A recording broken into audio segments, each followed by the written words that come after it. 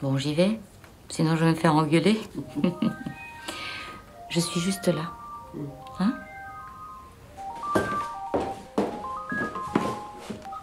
Oui, Denis. Oui, Anne, euh, bon, j'ai pas beaucoup de temps. Vous voulez parler à votre maman? Hmm, non, est-ce que vous avez trouvé mon chèque?